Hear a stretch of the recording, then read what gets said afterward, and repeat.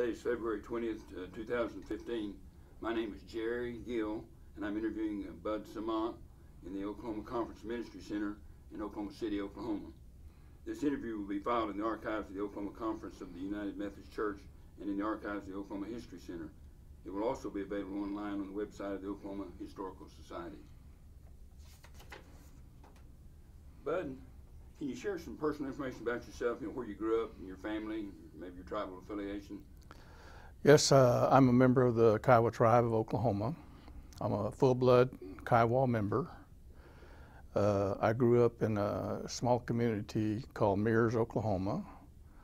I attended high school at Elgin, Oklahoma. Uh, attended school at Cameron Junior College, Oklahoma City University, uh, Southwestern State University, and University of Minnesota. Uh, I'm the youngest of 10 children. Uh, my father was a farmer. Uh, my mother was a, a, housemaker all her life. Uh, an interesting thing about my mom and my dad is that their marriage was arranged. And uh, they uh, were married, I think, somewhere in the area of 65 years before my father passed away. my mother my mother uh, lived to be uh, 101 years of age. Uh, my mother was born uh, at a Sundance, Kiowa Sundance in Carnegie, Oklahoma, in uh, in 2000, 1905. No, uh, well, she, whatever 100 years is less from 2005 is. Um, my father was born at the Anadarko uh, Bureau of Indian Affairs agency, uh, where my uh, grandmother and father were both employed. Uh, uh, uh, of the 10 children, five of us remain today. Well, you talk a little bit about your work history, professional career after you got your education completed? when I graduated from Oklahoma City University, my first job um, uh, was uh, being a teacher and a coach at Mustang High School. Uh, from there, I went to uh, do the same thing at Cache High School in Comanche County.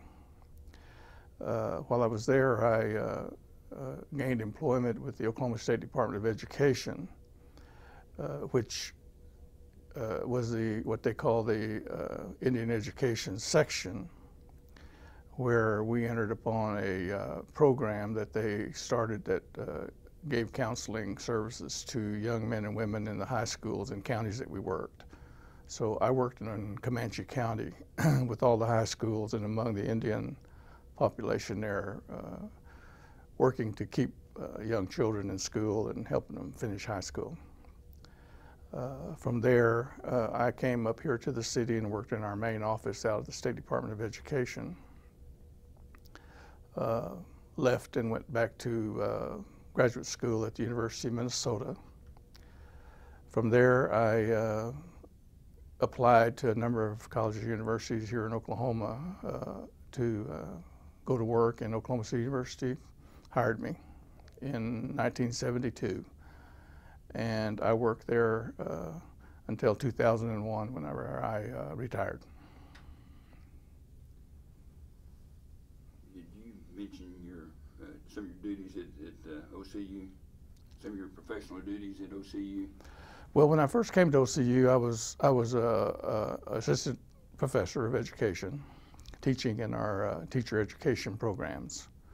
Uh, during that time, I uh, uh, taught various classes, foundation classes for teachers. Uh, then uh, I became dean of our ed school, which included education and um, and uh, uh the social sciences. Uh, worked there for a while.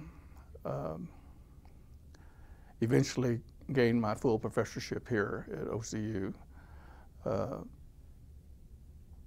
was named the director of athletics in 1987 and uh, continued to do that until I retired. Uh, in addition to that, I served as university marshal for the number over a number of years here at Oklahoma City University.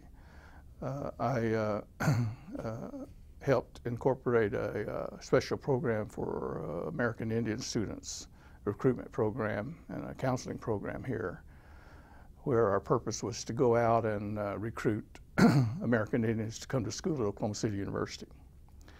Uh, we expanded that from an undergraduate program to a graduate program and into the law school, where we recruited students for all those areas and uh, proved to be a very successful program.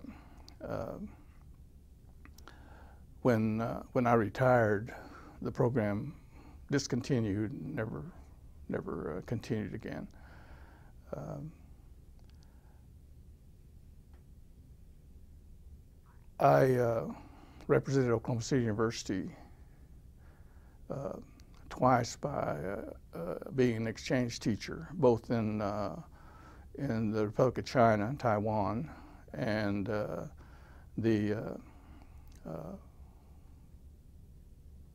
country of, of, mainland China. went there both places twice, taught classes in universities there is a part of an exchange program that brought students from those two countries here to OCU to study. Bud, you talked about being athletic director. Can you tell me about those banners that are hanging in the gymnasium, the banners?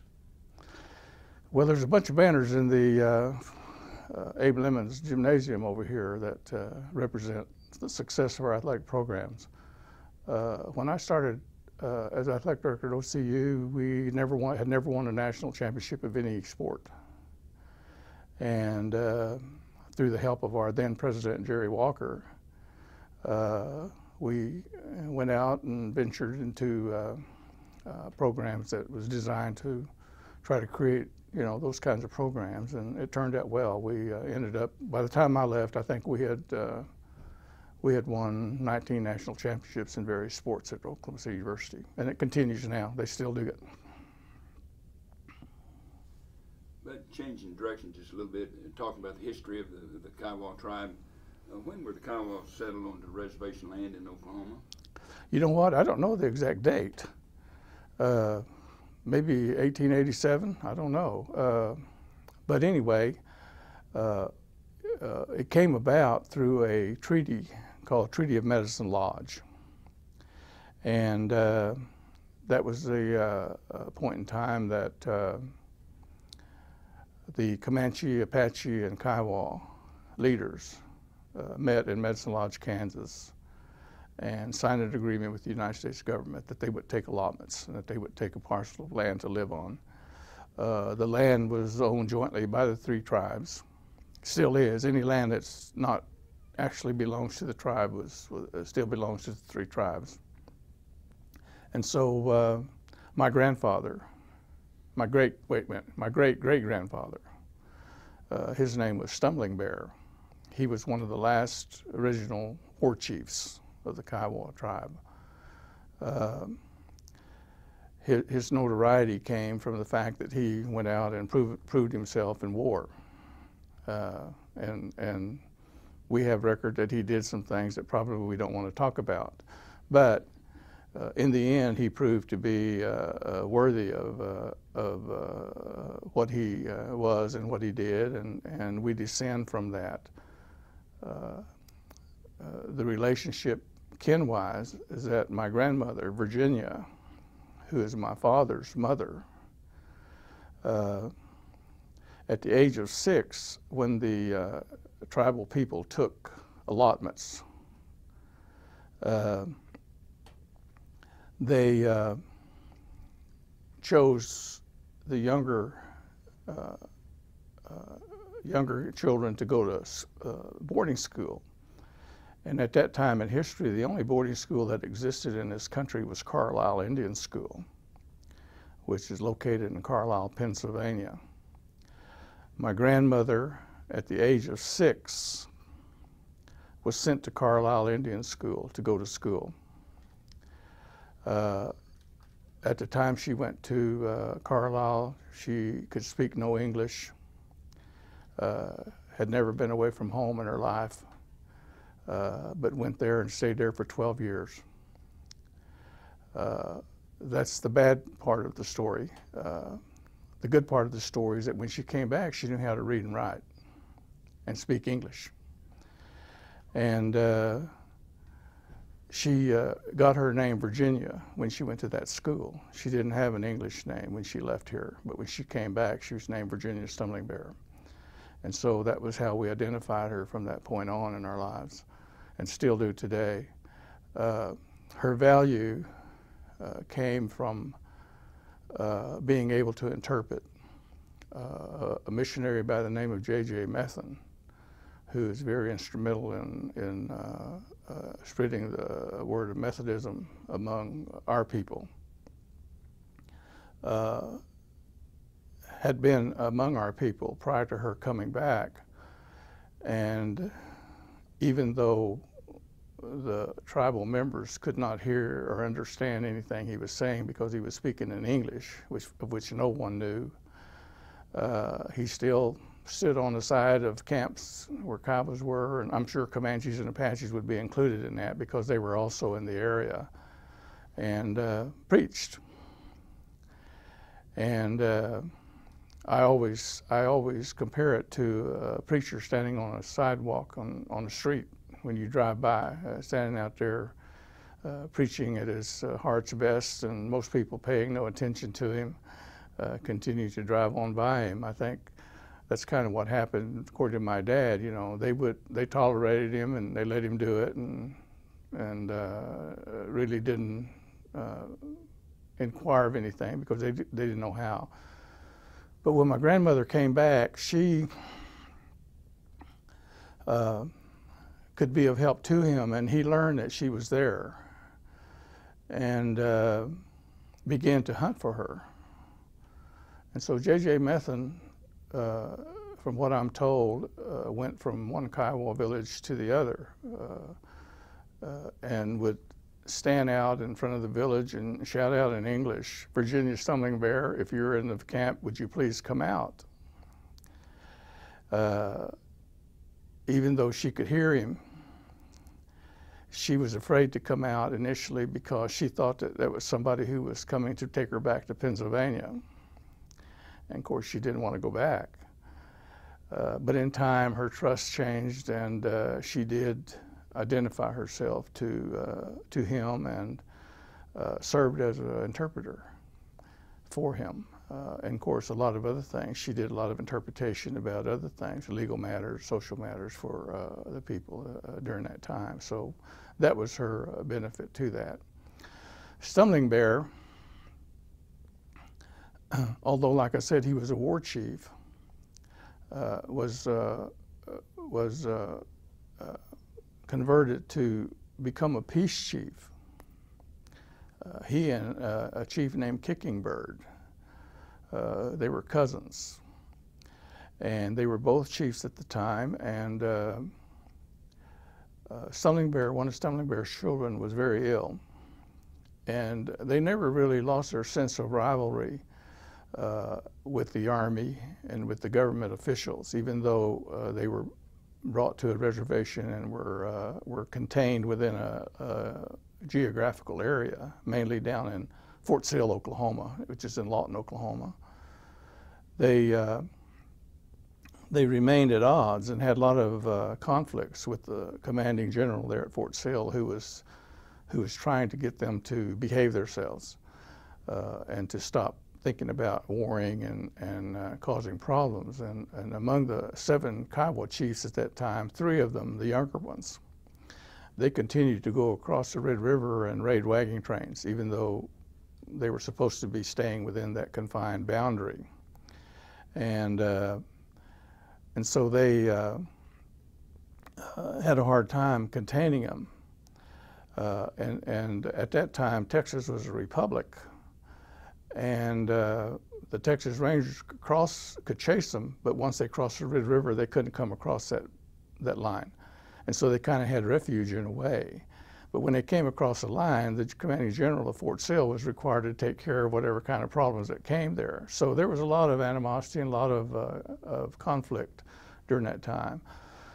But um, one of uh, uh Stumbling Bear's children was very ill And uh, the commanding general sent the uh, post doctor to his teepee and uh, administered some medication to that child, and that child got okay. And I'm told at that point in time, Stumbling Bear decided, hey, it's time for us to maybe uh, change our way of life and, and start living together and so forth. And, uh, and he became what is known as a peace chief. And from that point in time in his life, he, he advocated that we move into a new era, a new direction.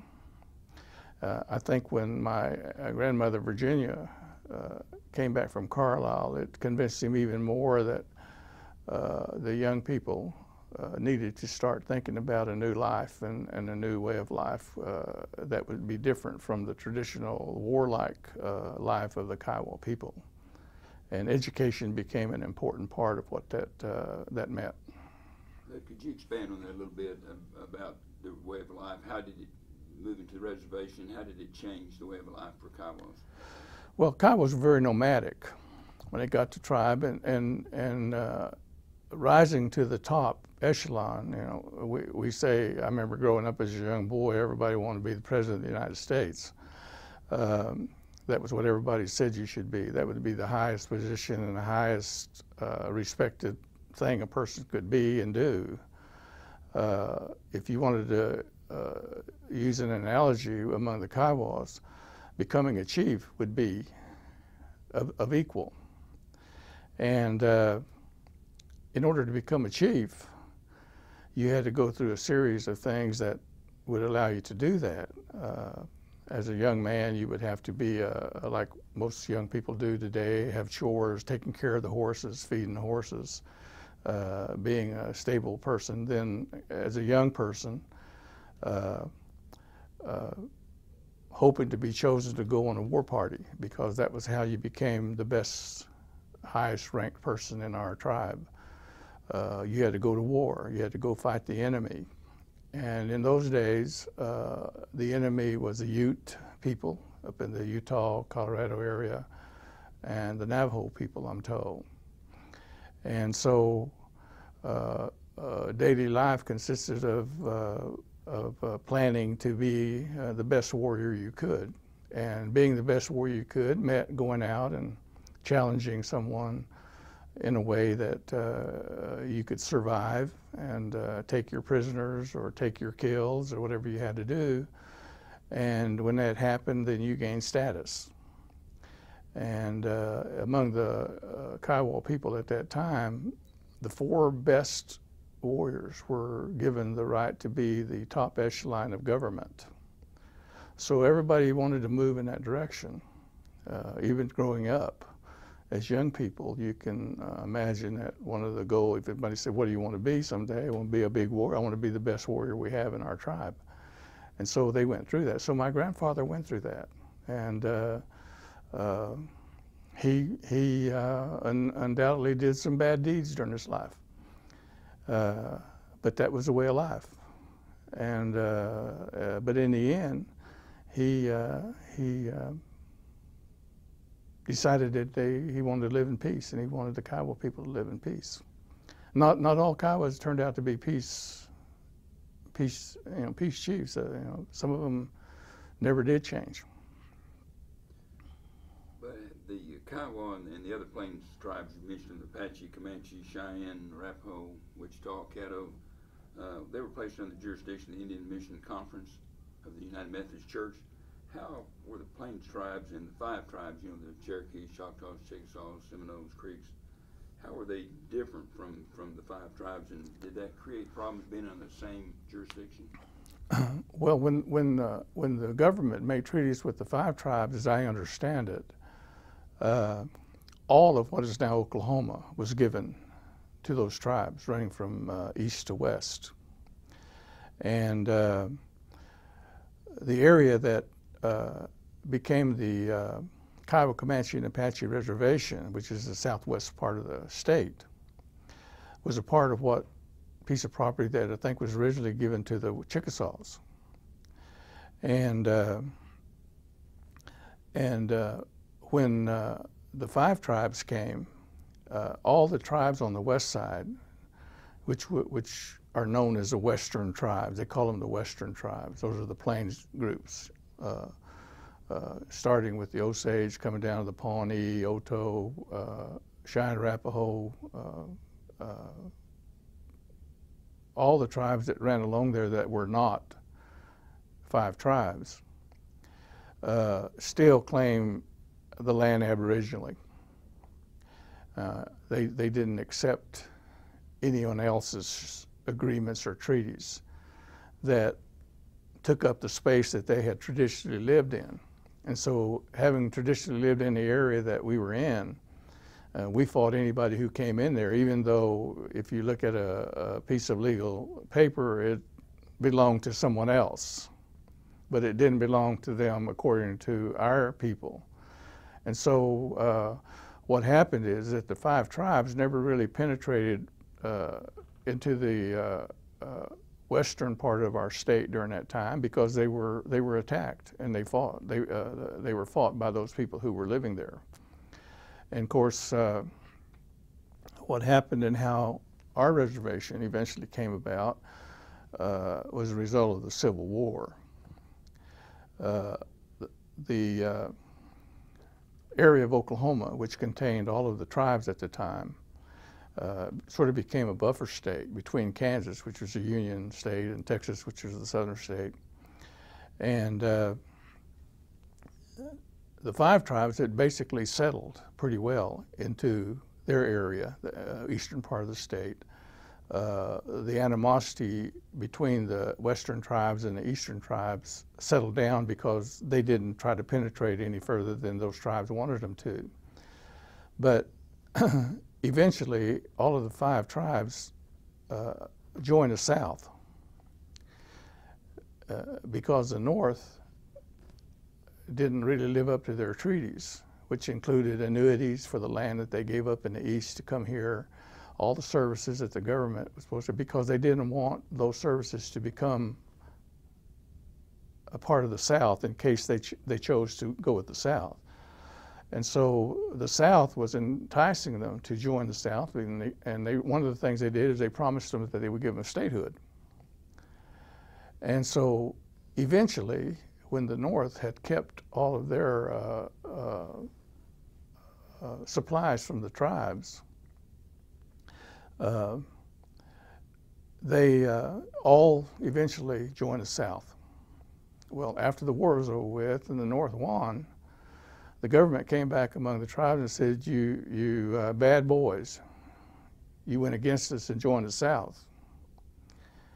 Uh, they never apologized because they kept everything that belonged to them away from them. But they said, we're going to punish you for joining the South now. And there's going to be one of the two things you're going to have to do. You're going to have to give your slaves either 20 acres of land or citizen in your tribe. You're going to have to grant right-of-ways to railroads. And you're going to have to give up the western part of the lands that the, the other tribes are living on. And that's how the Kiowa, Comanche, and Apache Reservation came to be. You talked earlier about efforts of the church and, and, and the government to assimilate Plains Indians into white culture. Uh, missionary uh, uh, church supported boarding schools was one of those, obviously. Uh-huh. What, what other things that, what was, uh, that clashed with traditional Kiowa spirituality and values having to be assimilated into white culture? Well,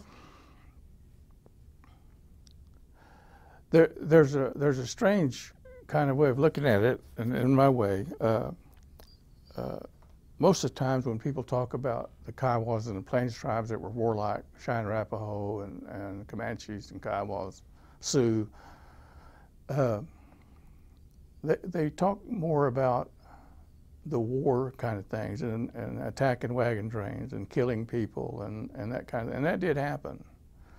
Uh, uh, you know, you can't argue justification on either side because both sides thought what they were doing was the right thing to do. Uh, uh, Kiowa, the Kiowa way of life is a, is a very, very good way of life. It's, it's a very communal way of life. Take care of each other, uh, share with one another, love one another, uh, uh, believe that there was a Almighty, even though we they didn't recognize it to be the same Almighty that we do in the Christian world. Uh, they knew something was happening that was all powerful. Uh, that was one of the reasons why I think uh, the sun became such an important part of most Indian culture's life. The the respect of the sun, because they saw what was happening. It was making things happen. The weather, something was creating that that uh, that uh, uh, they didn't understand, but they knew something more powerful than them was causing it. Uh, and and so a lot of the belief was spiritual in in, in general, and uh, and they but they weren't practicing Christianity the way we do today. Uh, I always I always say that I think one of the reasons why our people, the Kiowa people, accepted Christianity was that when the missionaries start coming among them, they, they came in there and said, you need to love one another. You know, God's love is important. You need to love one another. You need to care about one another. You take care of one another. And they said, you know, where's this guy coming from? We already do that. You know, the only thing I think that was lacking in their culture was that they weren't aware that Jesus Christ came to earth and, and uh, went through the uh, life that he did. But once they learned that, I think they kind of thought, well, that makes a little bit of sense. That, that, that, that's not anything that, you know, is something that we should fear. And I think, pers- I really believe that a lot of, uh, a lot of them changed their way of life to Christianity because of that. Uh, the other thing I always tell people whenever I uh, speak to groups and, and talk to uh, individuals is that one of the things that Christianity, I think, has, has done and has been helpful to us in, me individually, uh, other members of tribal groups around the country, is that it gave us the opportunity to forgive. You know, there, if you study history, history books are full of atrocities, bad things, bad deeds, unfair things, unkind things that were done to American Indians in the conquest of them. And uh, you can you can get angry if you read a book and read about some of the things that happened. Uh, there's a there's a book that was written by uh, uh, a lady uh, about how Carlisle Institute came to being. And when Carlisle Institute's football teams uh, became athletic enough to compete with the other colleges, how they cheated them out of almost every game they did they wouldn't let them win. They couldn't stand to let them win because if they won, it meant that they were as good as they were or better than they were. And so the culture of, of Europe, you know, uh, needs to be examined sometimes because that was the culture that we were fighting at the time that, uh, that uh, was representing them in the way they did. And so, and so you can get angry real, uh, real uh, quick. Uh, I told my, I told my son-in-law about that book He's not an Indian. And he read it. And I got tickled because whenever I talked to him after he read it, he was so mad. He was so mad about the way they treated him.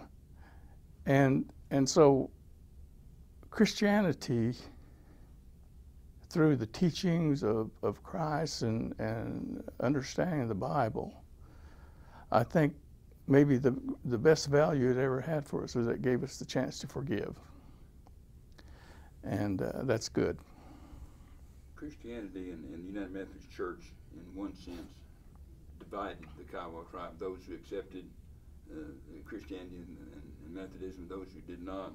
Uh, was this a good thing or a bad thing? well, when, when the missionaries first came among our people, the Kiowa, I, I, don't know about any other tribe, but J.J. Uh, Methvin, uh, they brought with them a very hard sell way of, of looking at it. Uh, their, their sell was, you know, it's either heaven or hell, no in between. you change your way, you, you don't worship idols, you worship, you know, you worship God. Uh, and uh, and whatever whatever you are or whatever you believe or however you go about your life, uh, if it isn't the kind that Christianity uh, requires you to do, you're going to go to hell. Uh, and for that reason, they, uh, they looked upon the practices and rites of our tribe as bad. And so when missionaries came in there, they actually uh, formed a, a, a, split in the way of thinking among those who wanted to stay traditional in their ways, practice the Kiowa traditional ways, which weren't bad. And you look at it from, from that standpoint, uh, uh, and, and continue to do that uh, by saying that they're bad people because they don't believe in God. And, and they're pagans because they're worshiping something other than doing that. They don't go to church. Uh, they don't practice uh, the religion. And so uh, what happened in growing up in my, in my young lifetime is that those who accepted Christianity, in fact, accepted the, the turn away from the way of life of a Kiowa person. Didn't mean they didn't speak Kiowa anymore, or didn't mean they didn't do the things that Kiowa, but I always tell everybody the best example that I know of is my grandfather, my mother's uh, father. Uh, one of the traditions among the Kiowa people at that time was that they could have two wives. And in most cases, the Kiowa tradition was that they, their wives were sisters. Uh, so uh, that means that you, if you were a Kiowa, you would be married to your wife's sister too. Uh, but but my grandfather uh, and my two grandmothers, I call them, one my uh, uh, maternal grandfather, grandmother, um, bore my grandfather five children each. Both wives bore had five children from him. They all lived together in the same house. They grew up together. They didn't recognize each other except that they were full brothers and sisters. They both looked at their uh, uh, real mothers as, uh, as mothers. Uh, but when uh, my grandfather uh, was encountered and, and decided to accept Christianity, he was told that he had to give up one of his wives or he would go to hell. And so at that time uh, in, uh, in, uh, in, our lives, my grandmother, my mother's mother, she uh, moved into our home and uh, lived in our home until she passed away. Uh, the other sister lived with my grandfather until they passed away. So, so, you know, there's two things that, that I think results from that, you, you have to have a pretty strong commitment to give yourself to, to the Lord to do things like that. Far more probably than I would ever have. And, uh, and uh, all of them gave themselves, uh, became Christians, even my grandmother. But like I was saying, you know, the chance to forgive is an important part of all that. Uh, she never she never held any animosity against anyone. Matter of fact, she would go back and visit her sister in the home that she lived in, and on occasion her my uh, other grandmother would come to our home and visit her because they were sisters.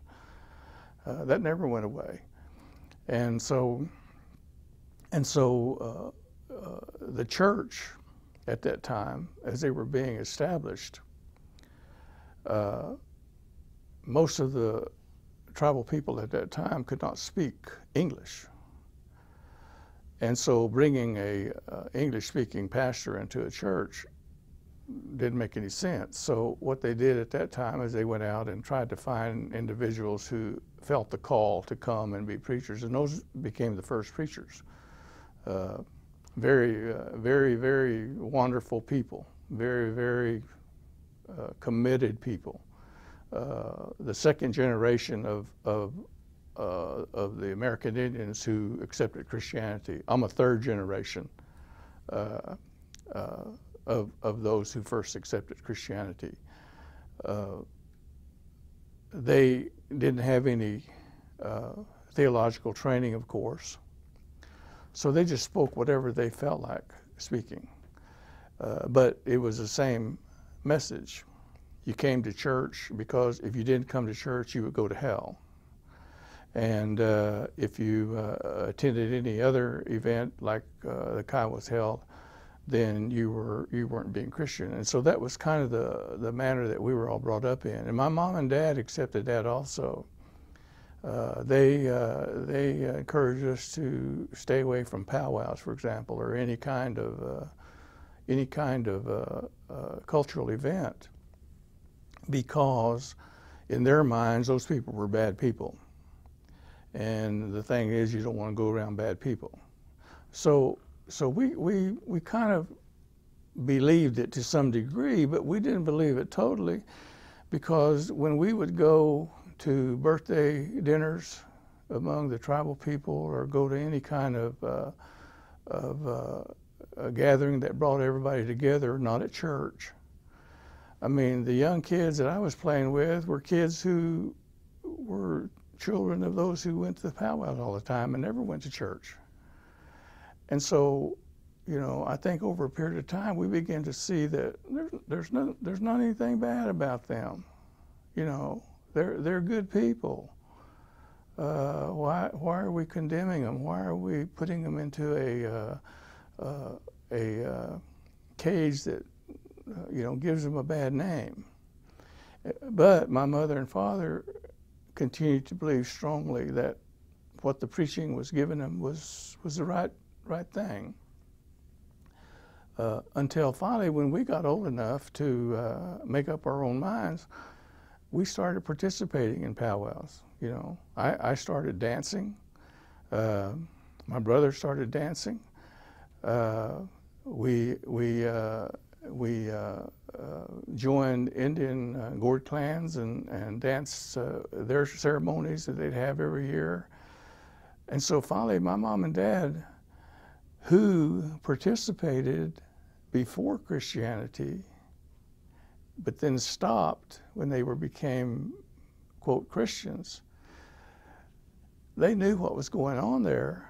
They started supporting us because we when we camped, they would practice the Kiowa tradition and saying, if my children are out there doing something, I'm there to help them do that. They'd camp, and my mom would cook, make sure we had something to eat. My dad would put up tents, make sure we had a place to sleep during that time.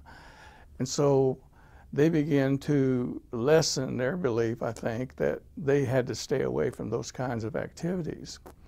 And uh, they found out that there may be as much religious, spiritual activity that goes on at one of the cultural things that, that they might have seen in church. Everybody treated them good. Everybody, they were Kiowas. They treated them well. They loved them. They cared for them made them feel good, made them re feel respected. And they said, hey, maybe this isn't really the way it is whenever uh, you go to one of these kind of things. Well, anyway, in time, we all changed and we all began to participate. We still do. My grandkids dance. They've been dancing since they could walk. Uh, we all go to powwows. We all participate in things, but we still all go to church. And we do them both now. But speaking of that church, well, uh, can you tell us a little bit about your uh, your uh, church you belong to has a, a, strong history in the in the Kiowa community. Uh, yeah, I was raised. I was raised. Yeah, I was raised in Mount Scott, Kiowa United you know, Methodist Church. Uh, what, what was that like, Bud? What, can you kind of share, your, you know, what a typical Sunday would be like, and, and, and what the liturgy was, etc. Uh, Mount Scott Kiowa Church uh, was established uh, in It celebrated its 100th anniversary in 2005. It's maintained its existence all that time. When, uh, when the Kiowa people took allotments, they were already living on the land. And so when the government says now you can have 160 acres of your own land, they just took the land that they were already living on. Most of them had homes on them and everything, and, and uh, all the relatives and family all took adjoining allotments so that a family uh, all encompassed a pretty large area of, of property. And so when they started, uh, when they started um, uh, deciding to build churches, uh, those people were the ones who established those churches. And uh, the charter members of the, of the church at Mount Scott, uh, Kiowa, uh, I would say 75% of them are my kinfolk. Uh, and uh, that's how the church starts, kind of a family church. All the families that lived in that area, we were all pretty much kin to one another, uh, had close ties uh, of various kinds, all went to that church. And, and I think that was true in a lot of churches in that area. I know the Comanche church that's not too far from us.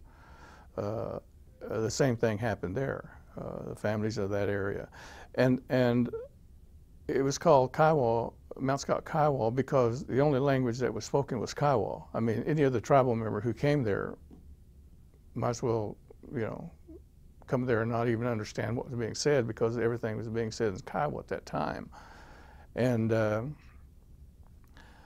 uh, that church was built out of some native stone that, uh, that family members uh, from the hills nearby, and and through uh, through manual labor of all the people put that church together, and and uh, it now it's on the historical register of churches, but. church sermons lasted. I told you earlier that the ministers were people who were called. Uh, they studied, I'm sure they studied the Bible to the best they could, uh, but the, a, a, typical church service when I was growing up as a young boy, uh, time wasn't a factor. Uh, Indian people get laughed at because they say there's a thing known as Indian time. We laugh at ourselves now. Uh, but there wasn't any reason to worry about time because uh, during those days uh, they learned that Sundays was a day of worship, nothing else. I mean, don't worry about what time or don't worry about all that kind of stuff. I mean, you come to worship, and, and however long it takes you to do that, you do it. And so uh, a service typically started out uh, with Sunday school. Then when, when the service started, there was always a testimonial portion to the service. Uh, at that time, a person had to get up and, and testify that they were a sinner, that they weren't any good, uh, anything that they could think of that was bad, and ask to be forgiven. And so uh, a preacher normally would sing, they'd sing Indian songs, He'd say, anybody want to testify? If nobody got up, he'd sing another Indian song. Uh, they'd sing Indian songs until somebody finally decided, you know, hey, I'll get up and testify to get this thing over with, maybe. And they would go through that whole process. And when that was finished, then the sermon began. That might be one o'clock in the afternoon. And so the preacher would then deliver his sermon. And his effort was to get people to come to the altar. So, how long do I have to do that to get the people to get up here to the altar? And so he would say he would do his sermon and he would have altar call. If nobody came, he'd sing songs. He'd continue to preach until finally somebody would come to the altar. And when enough came, I guess he would decide that it was okay for today. And that would end the sermon. Well, it could be three or four o'clock in the afternoon whenever that happened. That was a typical Sunday. But nobody worried about it. Nobody got anxious about it because Sunday was a day of worship. I think we'll to go back to that now and try that again. But the the current uh, repentance and reconciliation Do you movement. want any water? the, the current repentance and reconciliation movement in the church. Are you familiar with that? Uh, Somewhat. it calls for the United Methodist Church to acknowledge past injustices to its Native American community, and in, in your opinion, what were the negative consequences of church missionary efforts and injustices? What was the negative impact of missionary activities on, say, the Kiowa tribe? You mean how do they feel about somebody like J.J. Methvin? Yeah, and, and, and did they, did, changes that it create in their culture and their values and their life that, and some things that pain and, and that it caused them and, from being members of the Methodist Church? I, I, I grew up never hearing any of the what I call full bloods, okay? Uh, people who live the life, experience the life in the old ways.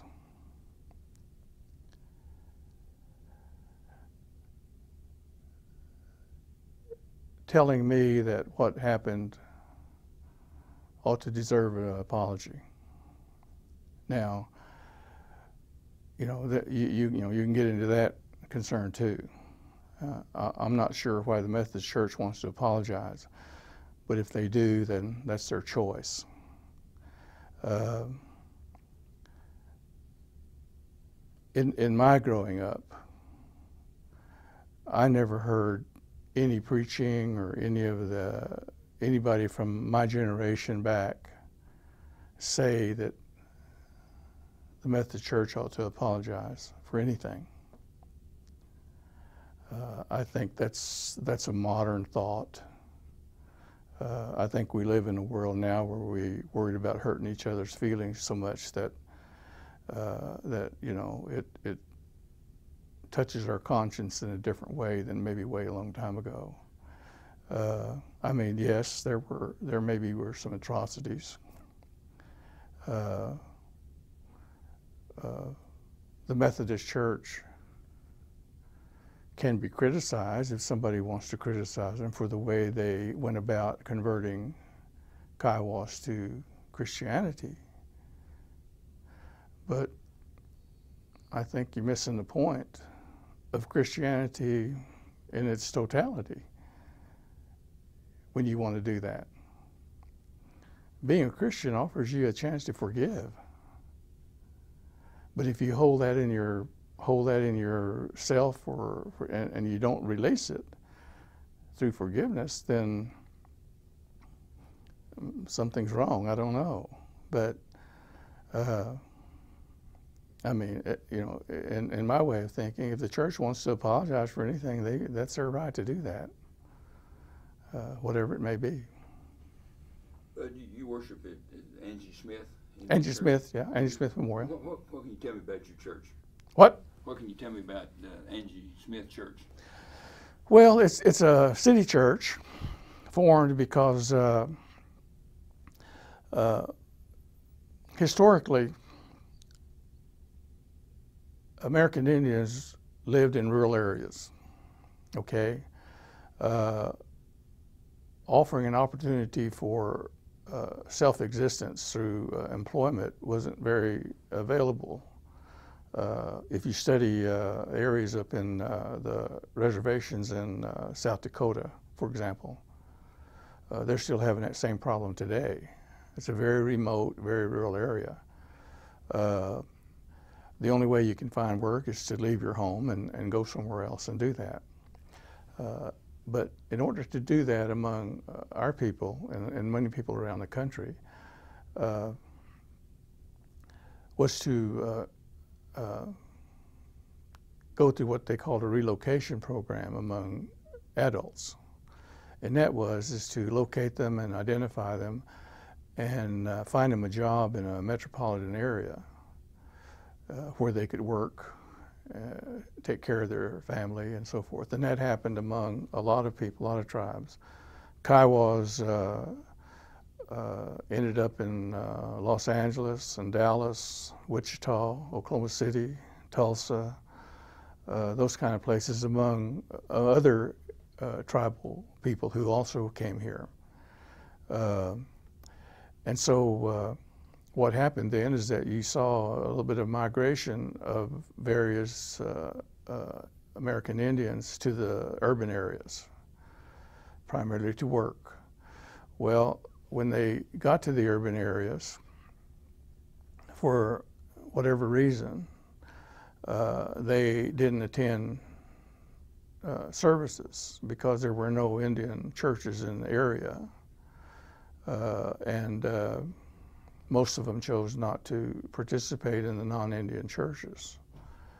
And so, in order to combat that, uh, the idea for having urban churches came about among uh, the Oklahoma Indian Missionary Conference. And so, uh, churches like uh, Mary Lee Clark and Angie Smith, Billy Hooten, uh, Norman First Church in Norman, uh, they were all established so that the Indian people who were in the city could come together. And that sort of was a breakaway from the old traditional churches where only one tribe went to that church. Uh, the churches here in the city became a mixture of a lot of different tribes. Uh, in, in, at Angie Smith, we have a number of different tribes that come there. Uh, I know uh, every Sunday we sing a Ponca hymn, we sing a Kiowa hymn, we sing a Choctaw hymn, uh, we sing a Cheyenne hymn, uh, sometimes a Comanche hymn. Uh, and those are representative of those families who came here during that time and are still here. Our preachers are basically, everything's in English. We, very seldom do anything in the native language other than sing our native hymns. Uh, and uh, uh, uh, our preacher at Angie Smith right now is a non-Indian, uh, and but is a is seminary trained to some degree, and we're getting more seminary trained uh, students. There's programs to help those who want to become ministers. So it's it's moving, you know, in that direction, which uh, which is, is, accepted. No one uh, I know of is complaining about the direction that it's moving. But are, are you? Uh, what's your opinion about the, the current status of Native American churches in the Oklahoma Indian Missionary Conference, and, and are you concerned about the future of Native American churches in OIMC? Yeah, I, I think I think the biggest concern is is the um, uh, those that are out in, in the rural areas.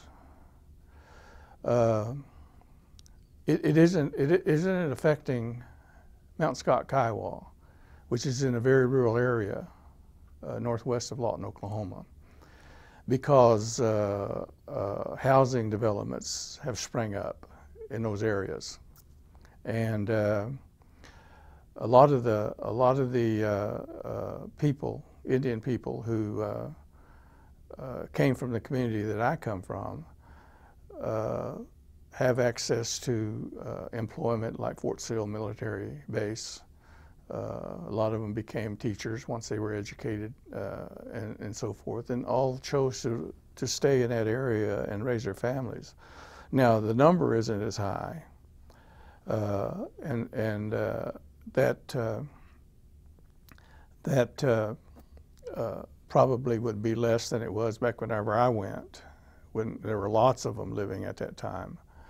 Uh, but I can imagine there are places in the state where we have churches that uh, that uh, don't have as many people to depend on. And I think what happens there is that it's like anything else. It's uh, uh, it's a financial crush on the church in order to to do that.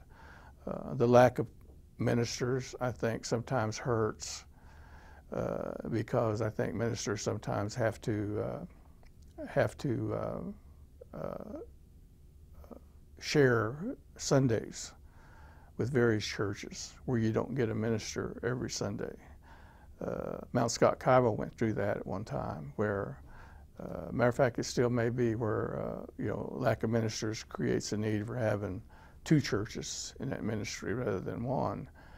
Um, uh, the American Indians have always been uh, uh, financially I, I don't know what the poverty status is, but the socioeconomic status of American Indians don't uh, give them the uh, power to, you know, to support a church through their offerings and their tithes. Uh, uh when, as I understand it, and Dave Wilson may be able to better uh, give you better information, but the way I understand it, whenever uh, churches were asked to become more independent, and, and, and, and you know the history of the Oklahoma Missionary Conference, it was a mission at one time, a mission of the Oklahoma Conference. And at that time, uh, they pretty much took care of their needs. And there wasn't a lot of demand on an individual's income. that they had, whatever amount it might be. Uh, and so uh, it wasn't quite as hard to, to maintain. But now that the requirement on a person's income to support those churches uh, became become more and more relevant in terms of keeping the church going.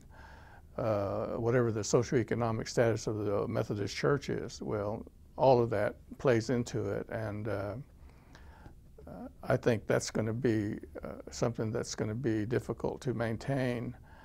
Uh, and the other is is that we we all worked hard to get the younger people educated, but by educating them, they couldn't stay where they were because there was no work there.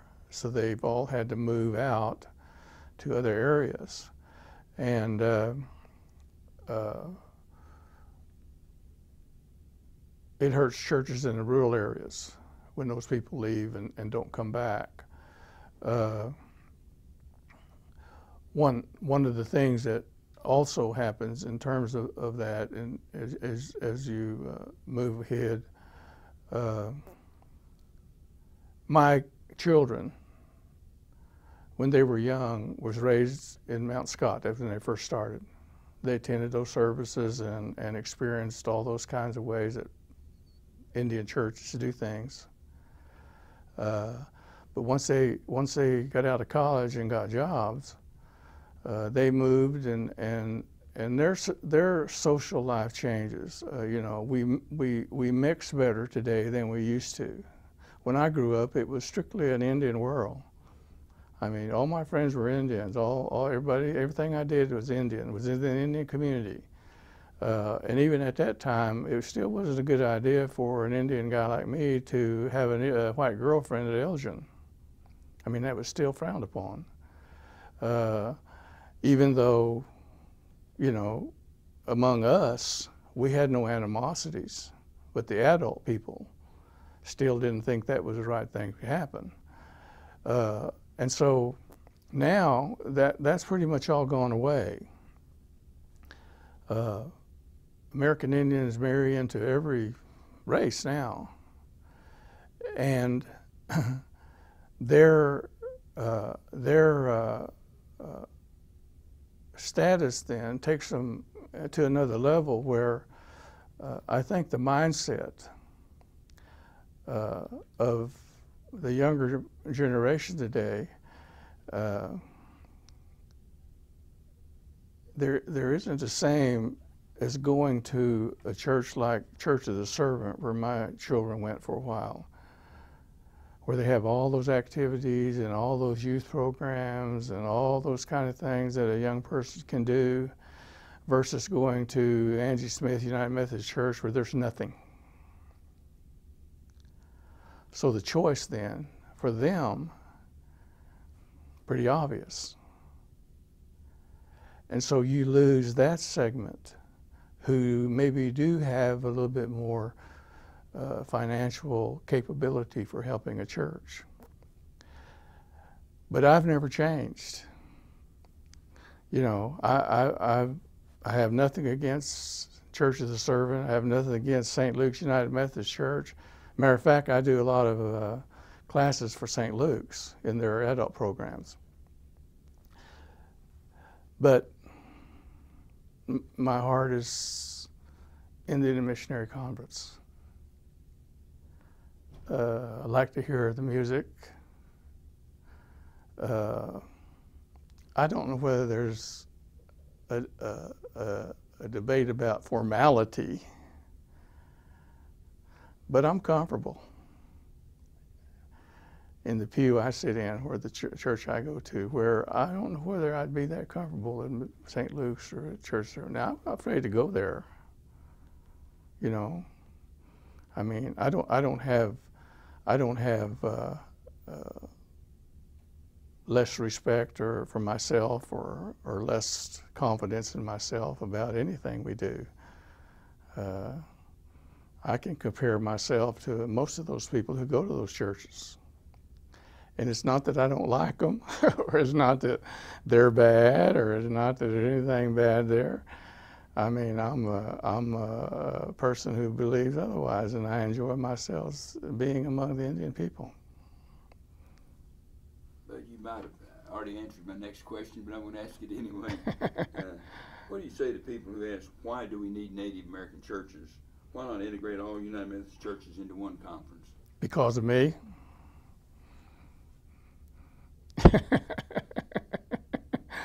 I mean, they're comfortable there.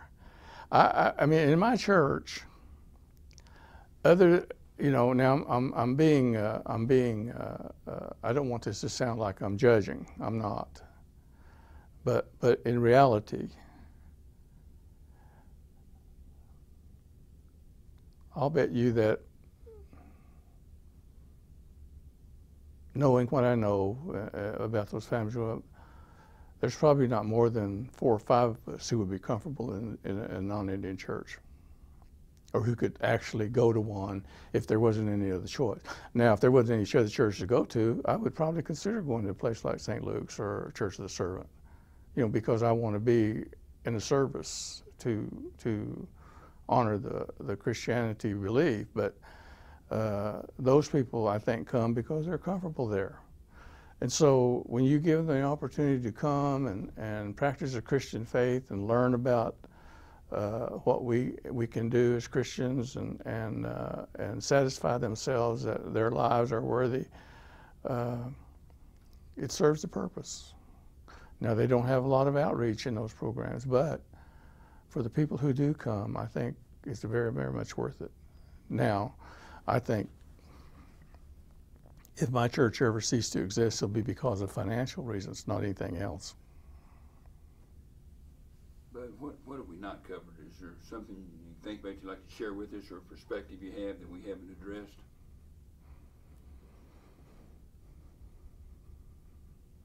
Well, you know, like everything else, it's a struggle. You know, you have to you have to believe and you have to have faith.